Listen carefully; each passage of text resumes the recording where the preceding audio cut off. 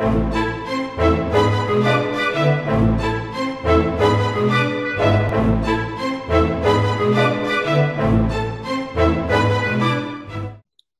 everyone. Welcome to my show, CurryUp Startup Podcast, a podcast to spotlight Asian leaders and interesting people that I meet in my life. This is your host, Priyanka Komala. Today, I have with me a very special guest from London. Yes, you heard it right. And she is Sangeeta Waldron. Sangeeta Waldron is an award winning publicist and runs her own London based public relations agency, Serendipity PR and Media. She works across business, arts, and culture in growth and international markets. Sangeeta, welcome to my show. Oh, it's great to be here. Thank, Thank you for you. having me. Absolutely. It's such a pleasure. And for our listeners out there, Sangeeta recently authored a book, which is called the PR Knowledge Book. It came out in 2019. And uh, we'd, we'd love to learn more about what the book is about and more about Sangeeta as well. Sangeeta helps brands create inclusive and diverse content, and she's also a global contributing editor for the Indian Corporate Social Responsibility Network, India CSR, which is the largest news platform on sustainable business news and corporate social responsibility in India. Sangeeta, you have such an amazing portfolio, and thank you for being on our show. No, it's a pleasure. Absolute pleasure. Thank you. So, can I say Sangeeta is synonymous with public relations? How does it make you feel? wow, I've never, um, I mean, no one's ever put it to me that way. It sounds amazing um, yes, I love that. Uh, long journey. It's taken me a long time to get here. So it's uh, a lot of hard work. Um, but it's not been a journey that's planned. So to have that recognition right now from you, that's, uh, that's pretty, that's amazing. Thank you. Absolutely, and you deserve it as well. So, Sangeeta, I know you started your career writing speeches for a previous UK minister and several other ministers. How was that experience when you look back? What's one thing that you would tell us about? Well, um, it's funny because I, as you know, I now run my own PR agency. And I was doing another one of these talks uh, right at the beginning when I set up my own agency. And somebody was just saying to me, Tell me about yourself. And I said, Oh, when I was in my 20s, I was writing uh, speeches for a previous prime minister and ministers, and they went, "In your 20s?" And it up until that moment, it really hadn't struck me that it was that amazing or it was that a big standout point. Um, but now, when you do reflect and you've got those years behind you, you can reflect and think, yeah, I mean, that was pretty amazing. And it was amazing to be working in government at that time. It was in the hub of everything. But um, it wasn't what I actually set out to do when I left university. And when I left university, I thought anyone and everyone would want to employ me. You have that notion when you come out of university, and then you realize nobody actually wants you because you've got no skills. And so that's how I sat the civil service entrance exam and got through and started my career. But while I was doing that, and I was in the cabinet office for that time, I thought this is not really what I set out to do, and I resigned.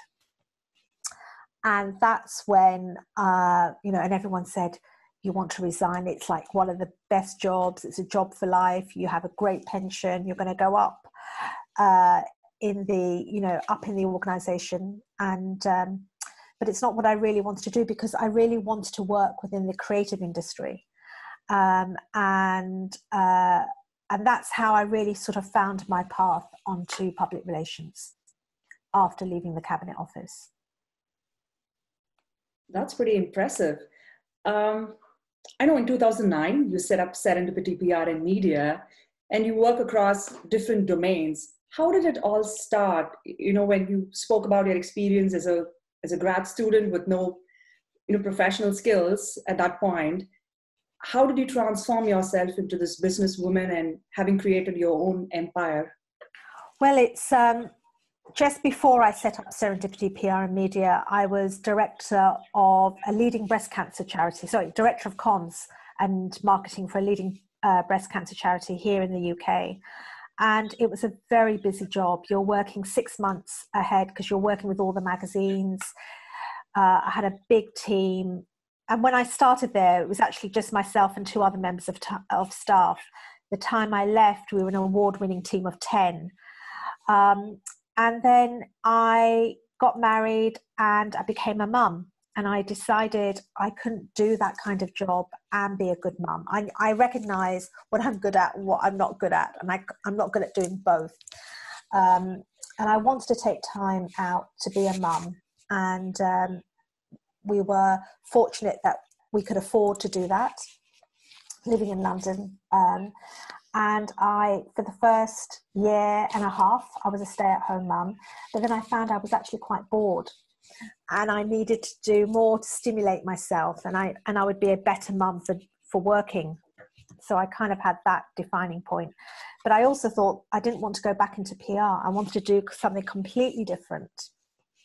So I retrained to be a tarot reader and um, I was a tarot reader. And every time I would do these readings in central London, people would ask me, "So, what do you actually? What was your other job before you did this?" And I said, "Oh, I worked in PR and media."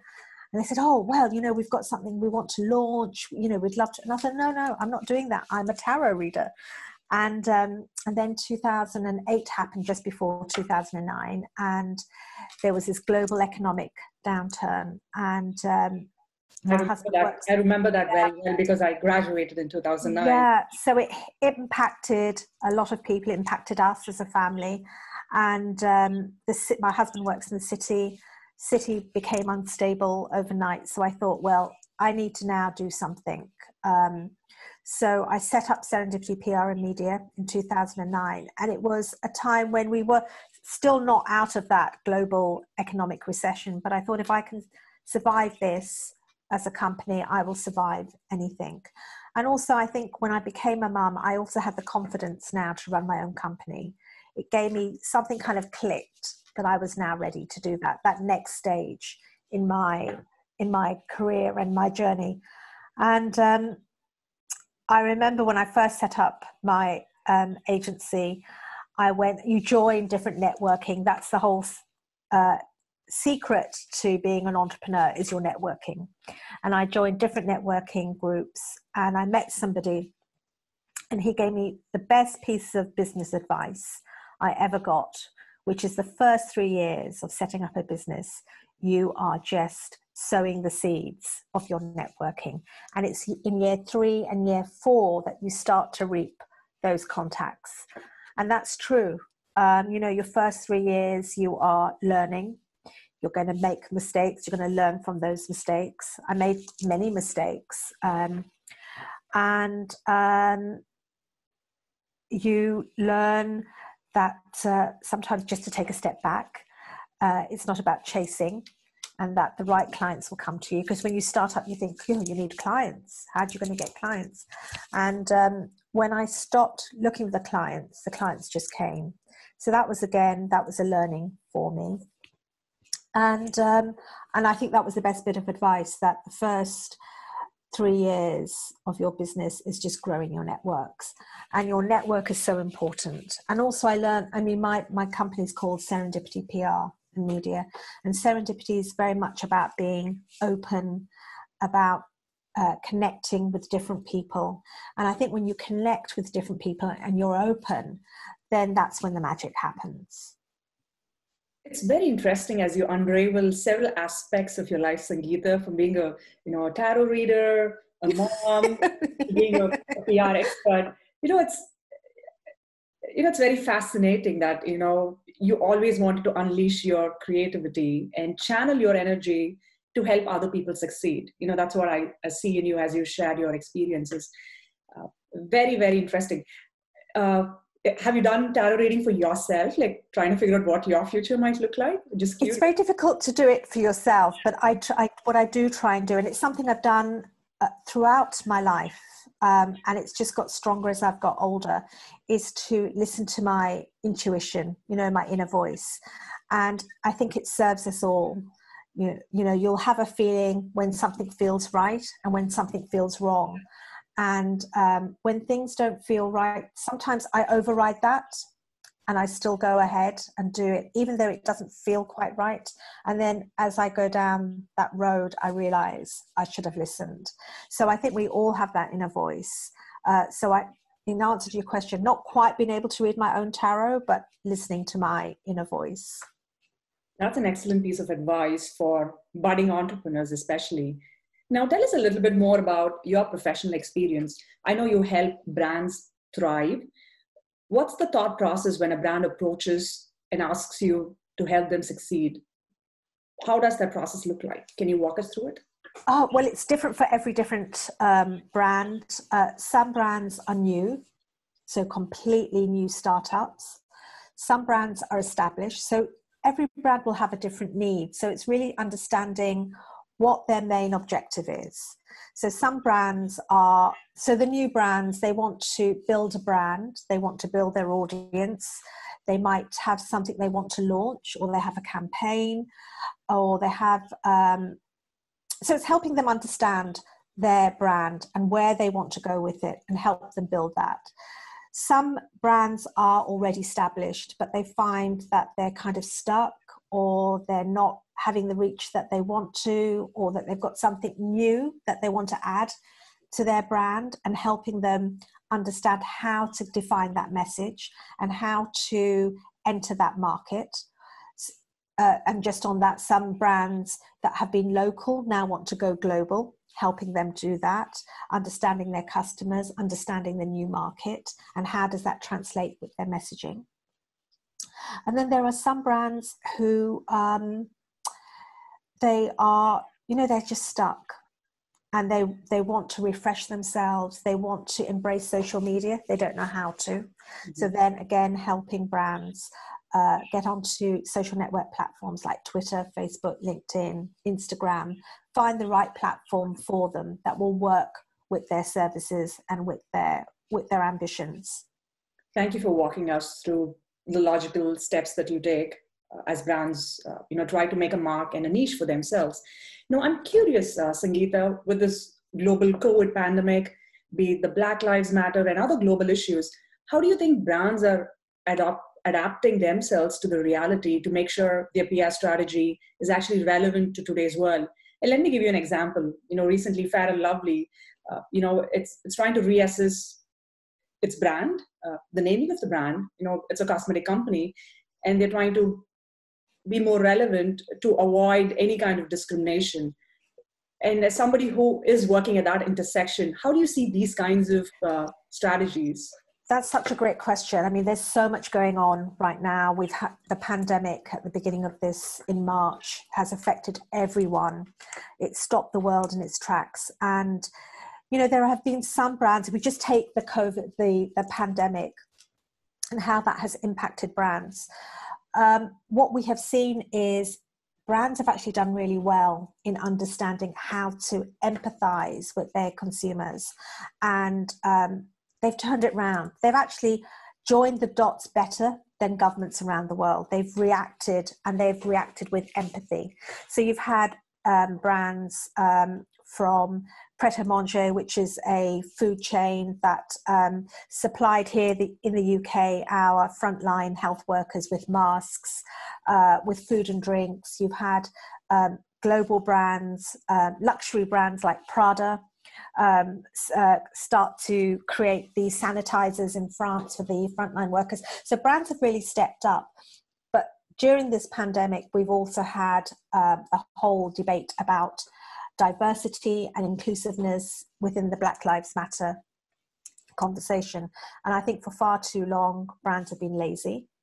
Um, and so some of the same brands I've just mentioned have let themselves down there because there are two different aspects. So you've had some of the luxury brands like Gucci a couple of years ago had the black masks and the you know sort of it was negative towards black uh, yeah, people.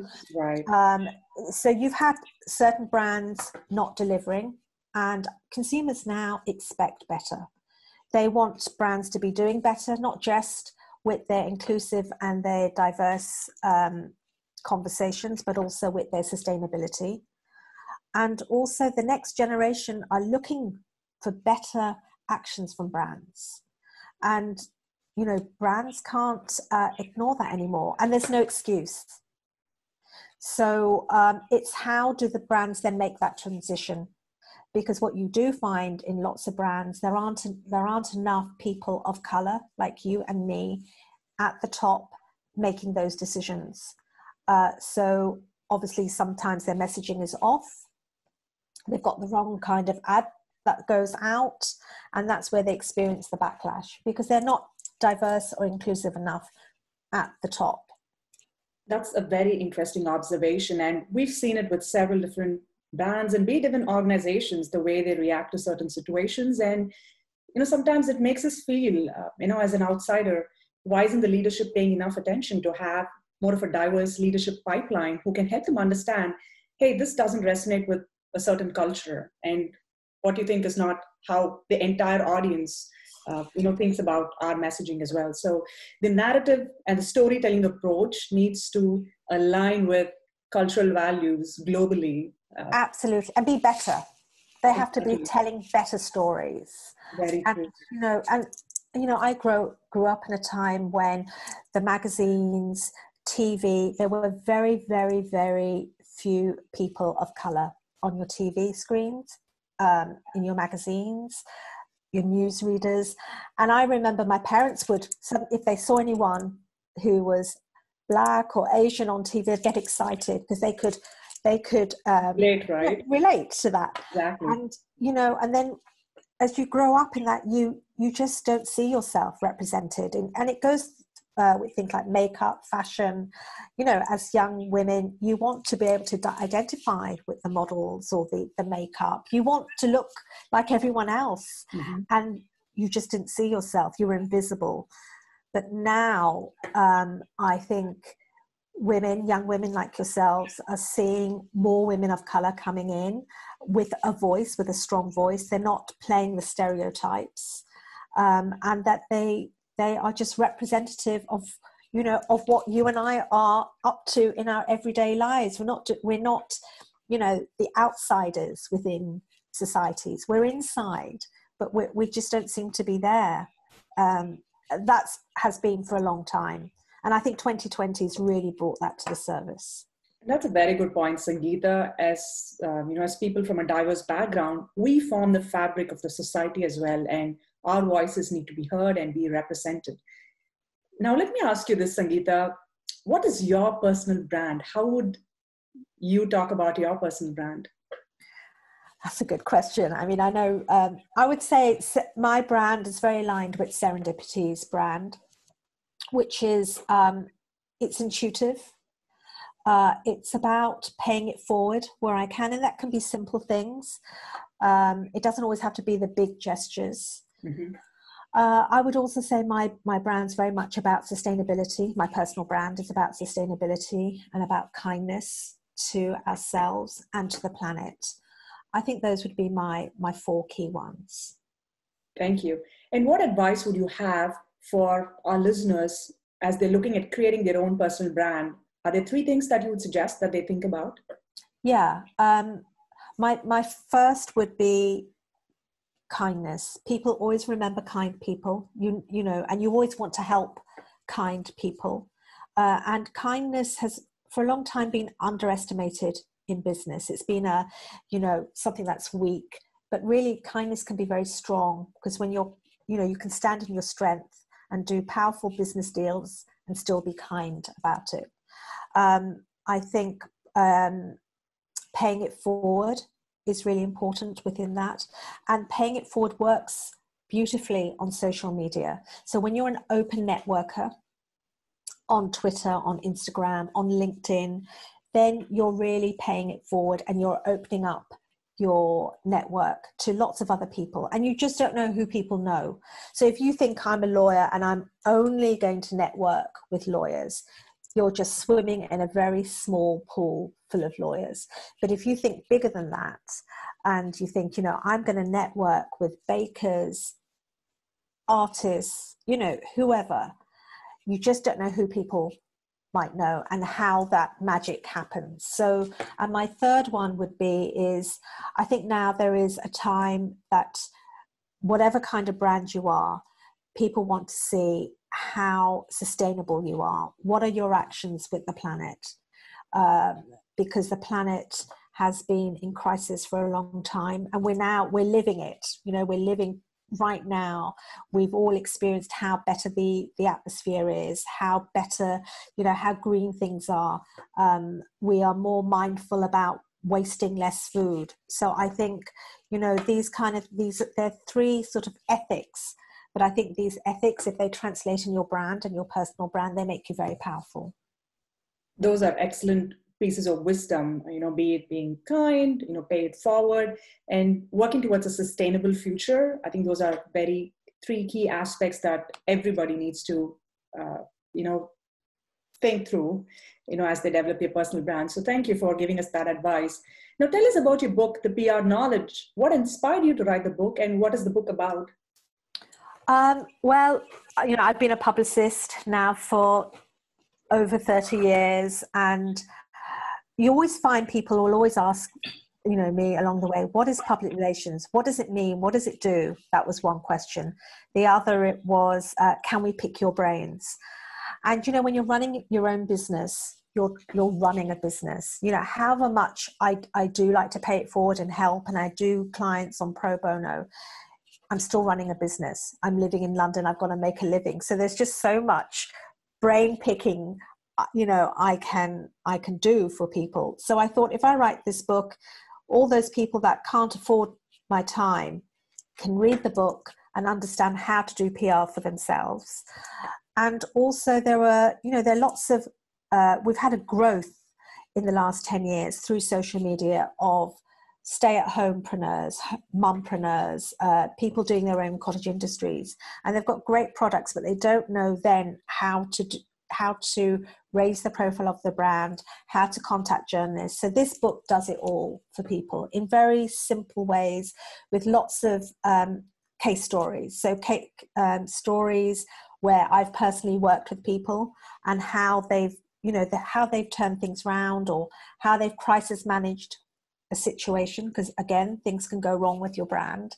And how do you um, react to a story? Um, and then how to create a campaign. So that book encompasses all that and also my pet subject of networking and serendipity. That's pretty amazing. I'm quite sure it'll be an interesting book for all of us to read. What's the best feedback you've received on your book? Wow, I mean, I've received a lot of feedback. You know, I'm I'm very lucky. I, I mean, I when I wrote the book, I had ten um, really big voices from the world of business endorse my book, and I've had some great things said. Um, but I think for me, when readers come back to me, um, that's there's nothing like that. And I had a there were two. One uh, was a student who happened to read my book, and he um, found my email address and he sent me an email just saying that book just was it made sense to him in every way and it was simply written and it was something that they they really enjoyed he really enjoyed it. And the other was um, it's a small it's a, it was just a small thing but i do a pilates class um, i used to before covid on a saturday and one of the women in the class said i've just bought your book I had no idea because I didn't talk about my book in the class and she had bought it and she said, you know what, it's so, it's brilliant. I'm actually, I've just started a new job and part of my role is PR and I'm just doing everything you're telling me. And that just meant so much to me. I was blown away. Somebody actually went out, bought my book and is practicing what was what I've set out in the book. So yeah, those two have, you know, better than any big sort of CEO saying anything. It's just when the reader finds it useful. Right. And people who meet in your everyday life, you know, when they feel the impact of your book, I think that's definitely a, a wonderful feeling. So congratulations on that. And Thank you. Many more kudos to come your way. Now, I know you have a very successful career, you know, in the last three decades, I should say. But was there ever a low moment in your career that you would like to share with us? Low moment. Um, I wouldn't say low. I think maybe I'm just trying to think of a of a. I guess when I decided when I was working just before I set up Serendipity PR and Media and I was working for a breast cancer charity. Wasn't a low moment, but it was a big decision of stepping out of the corporate, you know, structure, working for an organization, um, saying goodbye to my colleagues and working, you know, working with others. Um, wasn't a it was a kind of a low moment because you are going into the unknown and you're going to be working on your own. So it was i would say that maybe not doesn't quite answer your question but it was a transition for me. And it was the unknown rather than low. But yes saying goodbye to that kind of world and then starting my own yeah i know that must have been a you know a tough decision in some ways because there's a lot of uncertainty involved as well as to how the future look like looks like. But i think as a as a tarot reader probably you could connect the dots again and say like why not? Now tell us a little bit more about sustainability. I know that's something that's very close to your heart. And i know you're also the global contributing editor for the india corporate social responsibility network.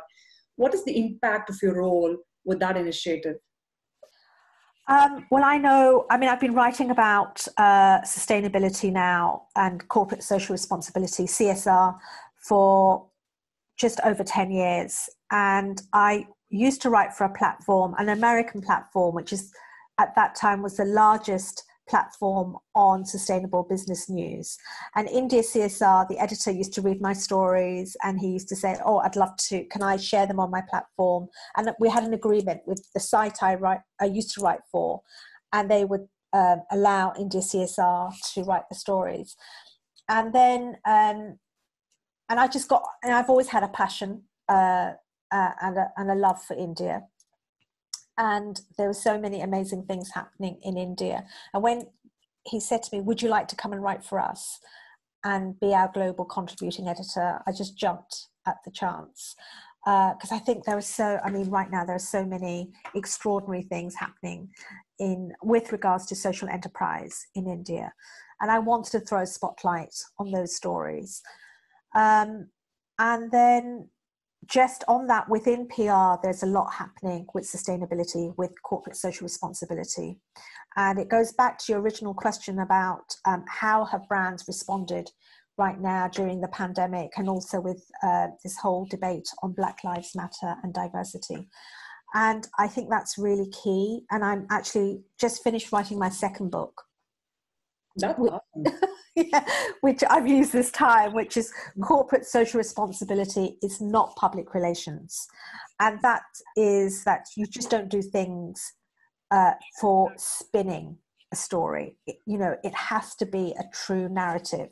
It has to be really sit with the brand. There's no point saying, you know, I believe in sustainability when you all your habits are something else uh, or if a brand says, you know, we are CSR through and through, we, we care about what we manufacture and how we manufacture, and yet you find most of their um, products come from a sweatshop. And that's when brands fall down. But if you put CSR at the heart of your brand, at the heart of your story, then your PR will follow automatically because people only have good things to say about you. Um, so that I think see, sustainability is going is going to be key, and we're going to see more and more brands talking about sustainability because us, the consumer, are going to demand how are brands uh, performing. That's very true, Sangeeta. Days have changed. It's no longer the end product that people care about, but the entire supply chain through which the end product is actually manufactured and marketed. And the other point is the fact that there's a lot of consumer awareness that's happening. So people are really paying attention to what a company does. It's no longer the the return on investment or what the you know stock value is. It's more about the leadership and what kind of values are being instilled as part of your culture as well.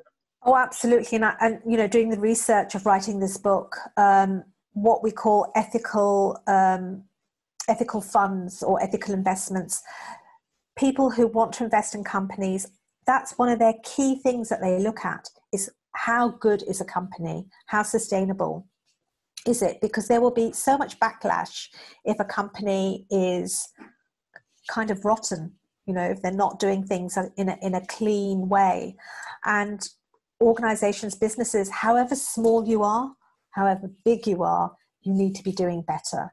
Um, and recently, here in the UK, we had a story. You know, we've had, um, like everyone, we've been, you know, in lockdown with the COVID 19 uh, virus. And we found in the, just as we were doing our sort of easing of lockdown, there's a, there's a, a place, a region here in the UK called Leicester, which had to go back under lockdown. And they found that there was a hotspot of people with the, the virus. And what they also found is a lot of people were working in sweatshops. Can you believe it? Here in, in the UK, people working in sweatshops um, of manufacturing garments uh, for online brands. And that and those people were forced to work because their pay is so it's below the minimum wage. They were scared to say no.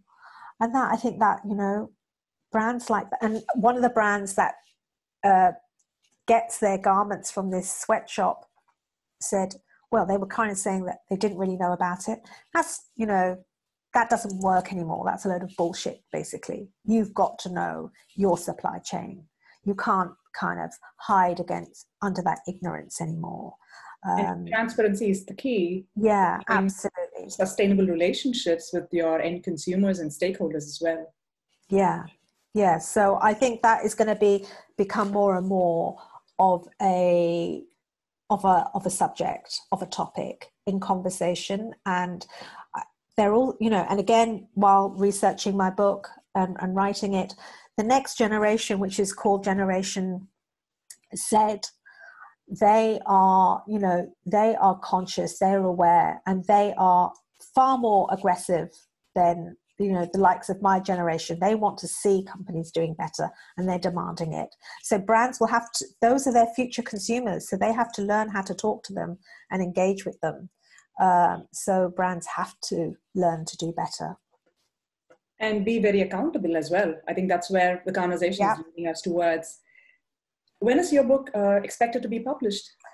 Well, it's just gone to the publisher now. So it goes through that second phase where you work with the book editor. So if everything goes well and timings, because also because of the pandemic, it's shifted lots of timelines. I'm hoping before the end of this year. Well, that's amazing to hear. And uh, best you. wishes from our CurryUp podcast listeners as well.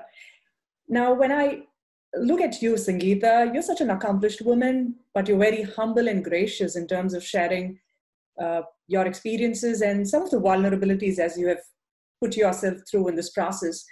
Now, tell us a little bit about your childhood. Did you envision yourself to be where you are today? No, absolutely not. And I don't think most people, you know, when they when their kids have a well, some children do have a sense of themselves. Um, I was born here in the UK. I was here to the age of 14, and my father uh, was from India, from the north of India. And when he took early retirement from his job, he was a teacher, and he wanted to go back to India. But for my mum, my brother, and myself, it would have been our first time in India. My mother's Indian, but born and brought up in South Africa. So uh, we only spoke English at home growing up here in the UK. But we went, we went I, when I was 30, 14, went to go and live in India for nine years. I did my rest of my uh, schooling, my college, my university. And then when I was about 21, I said to my mum, Look, I've done everything that's been expected, but now I'm going to leave and I'm going to go back to London uh, because not really growing up with Hindi as my, you know, that's um, in India the, the main language, and I was at a disadvantage. So I can't read or write Hindi. Um, and I, when I went to India, I did French. Uh, so it was a little bit of a mismatch. Um, I didn't quite settle into everything uh, there, and so so my my childhood uh, was I guess it was an adventure, you know, but you don't see that when you're 13 and 14. You know, your parents are uprooting you, taking you to a completely different country um, where everything is different. And those days, India only had one TV channel. uh, and uh, that used to come on in the evenings. Uh, so you used to wait for TV, and um, it was a very different place to what it is now. And you couldn't get all the things that you I was used to as a 13, 14 year old. Music, um, everything was so different. Education was so different. So that was a really testing time for me. Um, and then when I got to college, I found my stride a bit. Um, because college is a little bit more relaxed. You, you, know who you are a little bit more. And I went to a college in a place called Chandigarh. Um, and I went to a girls' college and I just loved it. I loved all the girls, all my friends, and had a great time. And then I went on to university. But again, at that time in India, working, you could only work in a big city like Delhi or Mumbai. And city life in India is very hectic. You, you've got to know how to navigate getting on the bus, how to navigate, crossing the roads, and I couldn't do any of those things. Crossing a road was something I just couldn't do. So I just couldn't see myself, you know, managing in a big city. But I, I knew how to manage myself here in London and, and it was it was straightforward for me. So I when I, I left home when I was in my twenties, came back to London and I was lucky, you know, my mum didn't stop me. She knew, I think she understood um, that I was I was born, you know, for for for city life here in the West, and um, I came back, um, and then as I as I said, you know, when I came back, uh, there was a recession going on. Nobody wanted to employ me. I thought, you know, I'm a graduate. Of course, people would want me, but I didn't have any office skills, and that's how I sat the civil service entrance exam. But it was a tough time because I didn't have, you know, my family around me. I didn't have my mom uh, because in between, I should also say, while we were in India, I lost, we lost my dad when I was 16. And at that time, my mum asked, should we stay on in India or should we come back to London? And my, my brother, who's younger than me, and I said, well, look, we've come this far. Let's see if we can make it work. And we stayed on. And my, my brother and my mum eventually built a house in India and you know that's where they set their roots. So when i came back to london i was on my own. I didn't have that that sort of that those roots so to speak. So it's quite a and when you're 20 you're trying to find your feet you know you're trying to save you, you know all those things you've got. You don't have the backdrop of a home. It, it's harder. It's tougher. Uh, but i was determined to make it work. And i didn't see myself going back so I only, you know, I had to make it work here, and I and I have. Um, yeah, I, I have, and I'm I'm I'm happy, and I go and see my family when I can. Um, and last year, I you know I went to India and I spent wonderful time with my mom. So uh, yes, uh, it life is. I don't think life is ever straightforward. It always throws you a curveball, and I think this year has shown each and every one of us you can never plan because you just don't know what's around the corner. I'm quite sure that must have been a very challenging uh, experience for you as you share, you know, the childhood, uh, some of the ups and downs that you had to go through at a very tender age. But I'm so proud of you, Sangeeta, because now when you look back, you figured out your calling and you had a supportive family, especially your mom who believed in your abilities and who trusted that you could create a life of your own and be happy. So kudos on that. And I'm quite sure you're, you're an inspiration and, uh, you know, for your kids and for our listeners out here. How does your mom feel about your success? Well, um, it's, um, do you know, my mom has always believed I would write a book. Right from a child, she always used to say to me, You're going to write a book. And I was like, Oh, yeah, mum. And then all my life that's always been something she'd say you know you're going to write a book one day. I know you're going to write a book. So when i wrote my first book um, last year and it came out she was so over the moon. I've never seen my mom like that. She was so happy. And when i went to go and see her in october she made me take a picture of her reading my book. And then she asked me to send it to everyone in her whatsapp group so I mean, she was like mega, mega, proud. you know, as you want your mum to be. Um, I think she was more proud of my book than you know of me having her first grandchild. You know, it was that big a thing for her. And then sadly, um, this year in January, I lost my mum. So um, I am so pleased that the book came out when it did and she got to see it and experience it. And I'm sure she has made this second book happen. Um, so yeah, uh, she she was just she's been, and you're right. You know, my mum is she has always seen something in me. She's always known I'm strong. Maybe when I didn't even recognize it in myself at times, but she's always seen. I think parents do, don't they? I can see it from my son. They always see the bigger picture. Right. Uh, and yes, so I am sure she's she's been there. And you know, when I was writing this second book, it wasn't always easy because what I didn't realize was that I was dealing with my grief when I was writing it. And there were times when I was trying to write it, and I kept saying to my husband, I can't write this book. It's so tough because I can't get the thoughts straight. And I kept, and I was going at it, and it, then it was only really in April, May that things started to seem clearer on the page, literally. And I think at that time, I, my head was just so full of other stuff going on, and I, I put that down to you know early stages of my of losing my mum. Uh, I'm quite sure your mom's blessings are with you wherever she is, and uh, you've you've really taken strides. Uh, I'm at a loss of words. You've really taken uh, you know this experience and have channelized it to create an impact with a purpose. And i think uh, you know that's the that's a very good trait to have sangeeta. And it's it's very hard you know being in such situations and still trying to figure out a, a path forward. So yeah. i'm i'm really uh, i really admire you for what you're doing to yourself and to people around you. Uh, thank you. so you need to feel very proud of what you're doing yeah, no, I yeah. Sometimes you need. I, I'm I'm one of these. My husband always says you should know it by now, but you know sometimes it's just nice when other people remind you. Uh, so thank you. And all those valuable experiences in your life. We have a fun rapid fire round for you. Are you ready for it? I'm ready.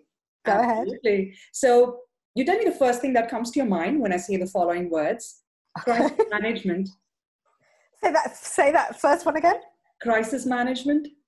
PR. A fun fact about you. Fun. You are fun. I am fun. what makes you happy? Uh, I would say my family, my son and my husband. Role model? Oh, I would say my mom. Here's a tricky one. What is your native language, and how would you describe yourself in one word in your native language? My native uh, language is English, and uh, I would, oh, that's a tough one. There's two things that spring to mind. One is um, the English rose, nothing like an English rose, but I think just the essence of, of, of a rose. And sweet pea is a flower you get here, and I've always loved that flower. So, I, yeah, those are the two things that have come to my mind. That's amazing. It's such a pleasure to have you on my show, CurryUp Startup Podcast, Sangeeta do you have any parting thoughts for our listeners and can you share your experience being on the show uh, I've loved it. You've asked some really interesting questions, questions that have had to make me think. Um, I've enjoyed uh, talking to you, and I really hope your listeners get something out of this. And I would just say, you know, the last thing is, you know, I think right now we're at this kind of tipping point where um, people like us, people of color um, now want to be seen and not just seen, heard. So we should all support each other. And uh, there's something I, I do. It hasn't happened because of the COVID uh, situation, but I work with Asian Voice newspaper here in the UK. And we run a quarterly uh, women's uh, session where I moderate a panel. And we will always have a British Asian woman on the panel to give her a voice. And I just think if we can just do that in our everyday lives, like you're doing, I think that's really important. Whether we're, we're men or women, we should have that platform to be heard. I totally agree with that. And thank you, Sangeeta, for being on our show. And to our listeners out there, uh, Sangeeta Waldron who's an award winning public relations expert, and she has two books, uh, one coming up soon, and I'm quite sure we'll have a lot of interesting nuggets of wisdom to learn and lean into. So, thank you again for joining us on this wonderful show, and we hope uh, you can continue learning from each other. And this is your host, Priyanka Komala, signing off until another episode with another interesting guest. Thank you.